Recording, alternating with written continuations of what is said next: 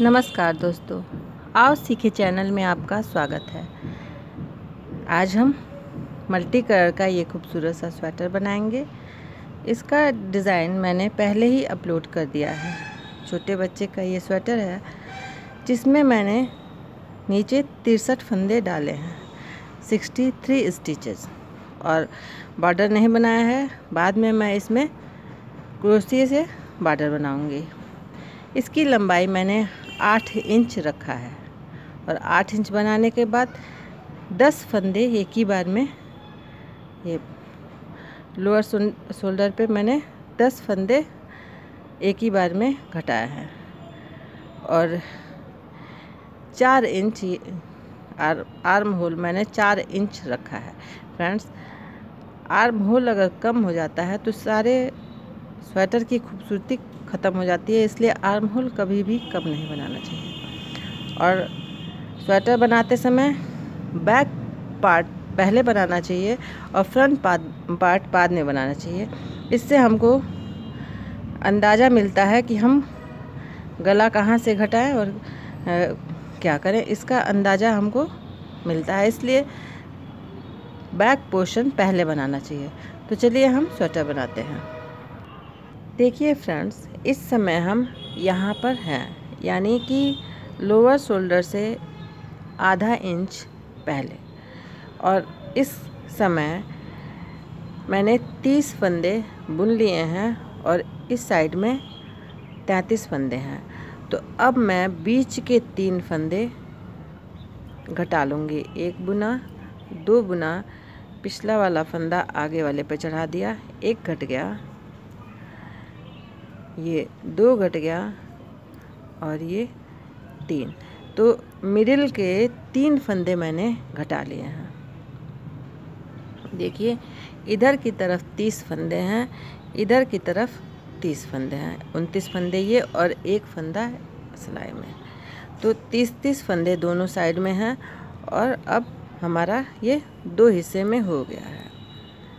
तो उसके बाद जो अपना पैटर्न है वो हम बनाएँगे।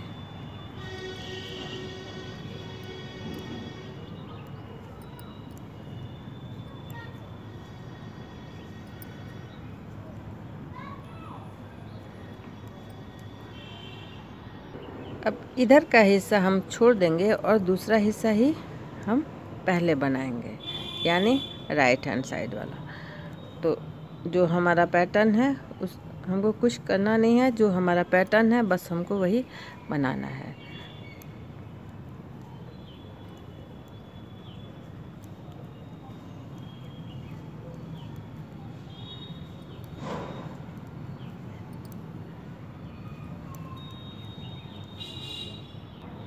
गले की तरफ़ हमको कुछ भी नहीं करना है। देखिए, यहाँ न फंदा बढ़ रहा है, न घट रहा है, बस हमको यहाँ पे सिंपली जो डिज़ाइन है, उसी को कायम रखना है।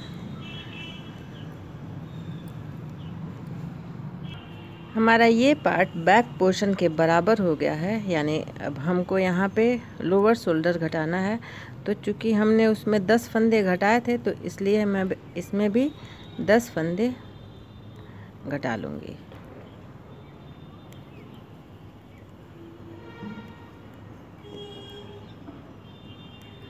फंदे घटाने के लिए वही करना है।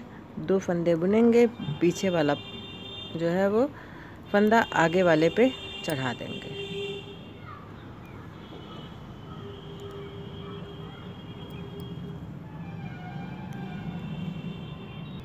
तो मुझे दस फंदा इस लाइन में घटाना है।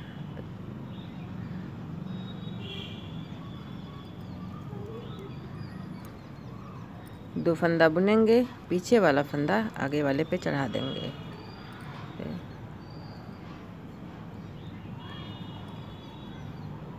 दो फंदा बुनते जाएँगे और पीछे वाला फंदा आगे वाले पे चढ़ाते जाएँगे तो पीछे वाला फंदा घटता चला जाएगा।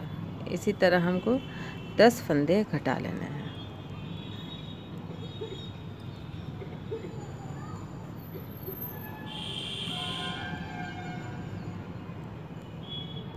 देखिए फ्रेंड्स ये हमारा लोअर शोल्डर घट गया है और अब हमें कुछ भी नहीं करना है। बस इसी डिज़ाइन को ये दो फूल और हमको बनाना है। यानी ये पीले वाले तक पहुँचना है। बस जो डिज़ाइन है उसी को बनाते हुए न, न दोनों तरफ़ कुछ भी घटाना बढ़ाना नहीं है। बस अपने डिज़ाइन को आगे बढ़ाना है। देखिए फ्रेंड्स अब हम यहाँ तक पहुँच चुके हैं। ये देखिए, ये इतना हमने ऐसे ही बुना है। और अब हम क्या करेंगे कि सात फंदे एक ही बार में ख़त्म कर देंगे। ऐसे हमको सीधा बुनना है और पीछे वाले फंदे को आगे वाले फंदे पे चढ़ा देना है। एक ख़त्म हुआ। दो तीन, चार,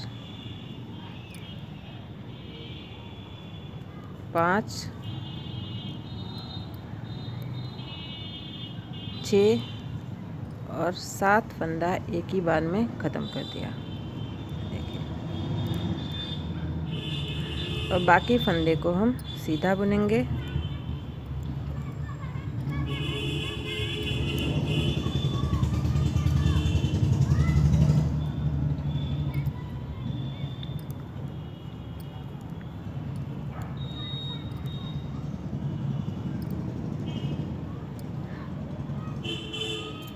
और जो हमारा पैटर्न है, उसको कायम रखेंगे।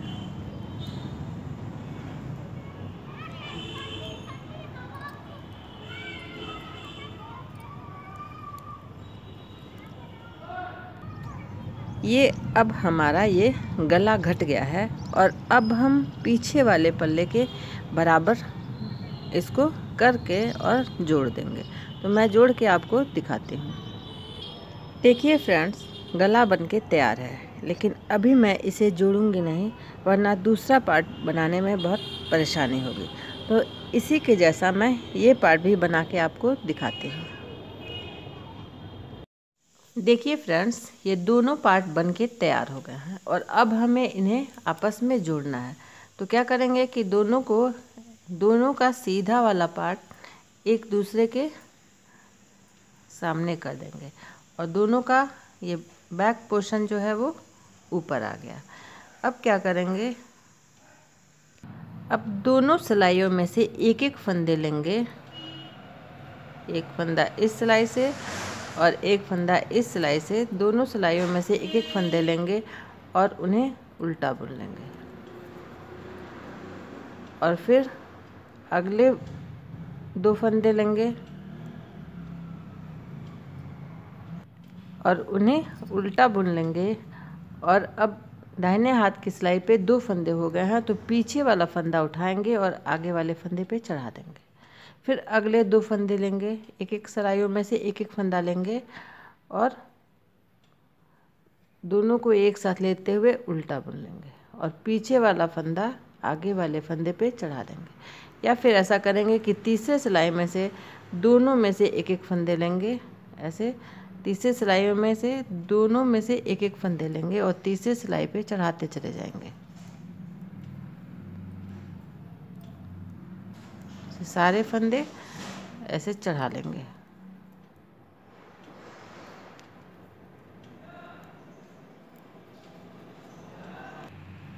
और अब इसको वापस दूसरी सिलाई पे कर लेंगे।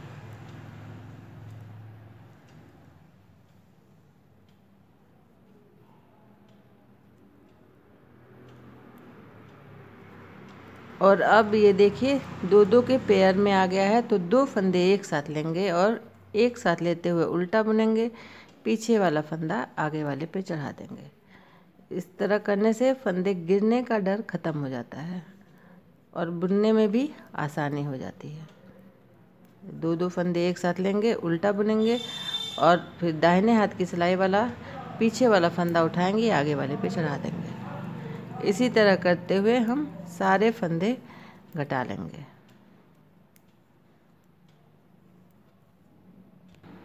और अब गले पर के ये पीछे का साइड है, इसमें सत्रह फंदे जो गले पर हैं, वो हम घटा लेंगे।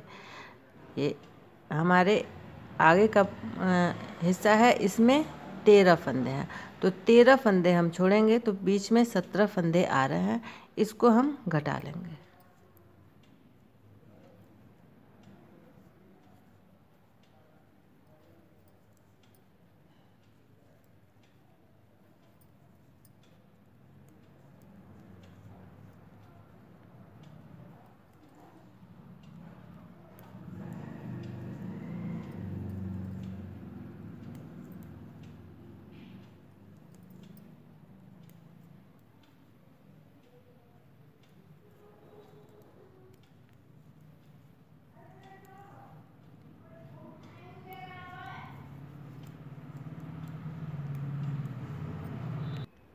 बीच के सत्रह फंदे घट गए हैं और अब यहाँ पे तेरह फंदे हैं और यहाँ पे भी तेरह फंदे हैं।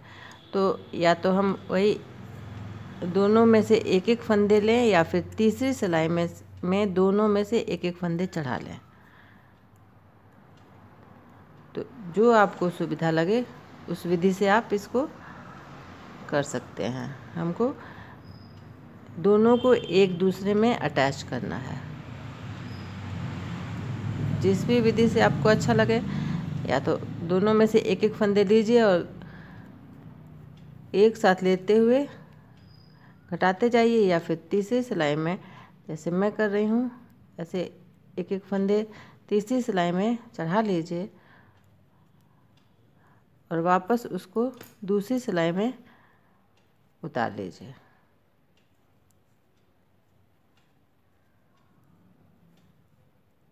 इन दोनों विधियों में से आपको जो अच्छा लगे, आप उससे कर सकते हैं। दो को लिया, बुना, फिर अगले दो को एक साथ लिया, बुना और पीछे वाला फंदा आगे वाले पे चढ़ा लिया।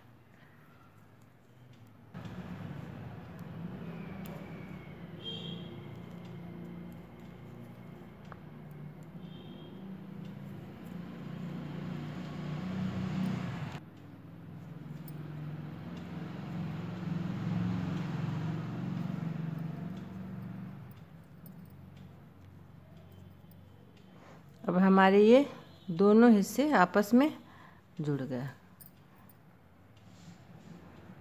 देखिए स्वेटर कंप्लीट हो गया है। अब हमको इसकी सिलाई करना है और क्रोशिया से काम करना है।